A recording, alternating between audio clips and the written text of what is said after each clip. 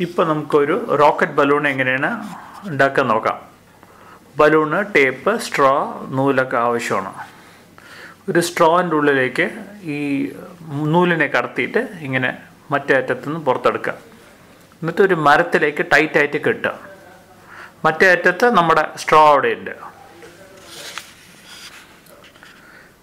ഇന്ന് സ്ട്രോനെ എടുത്തിട്ട് മറ്റേ അറ്റത്തിലേക്ക് ഫ്രീ ഫ്രീ ആയിട്ടുള്ള അറ്റത്ത് അറ്റത്ത് മറ്റേ അറ്റത്ത് ഒരു ഒരു ബലൂണിനെ ഇൻഫ്ലേറ്റ് ചെയ്തിട്ട് ഊതി ഊതി നിറച്ചിട്ട് അതിനെ ടേപ്പ് ചെയ്യുക. സ്ട്രോനെ അതിലേക്ക് സ്റ്റേപ്പ് ചെയ്യുക. എന്നിട്ട് ബലൂണിന്റെ മറ്റേ ബലൂണിന്റെ മൗത്തിനെ ഇങ്ങനെ പിടിച്ചിട്ട്